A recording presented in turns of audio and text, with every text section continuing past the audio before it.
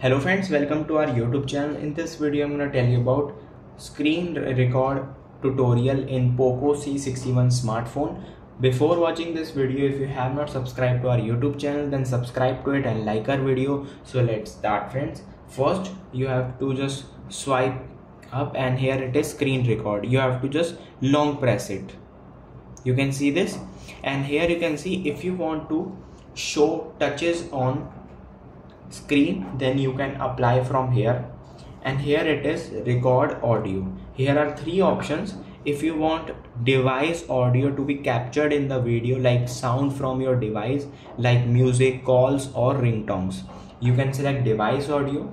If you want to uh, speak in the in uh, your video then click on microphone. And if you want both then click on device audio smartphone when you just click on it it will enable and when you just start it will start the screen recording you can see and if you want to just pause it the screen recording then you have to swipe up and here it is stop option just click on stop it will be stopped you can see I hope you like this video. If you like this video then subscribe to our YouTube channel for more helpful tips and tricks videos. See you next time.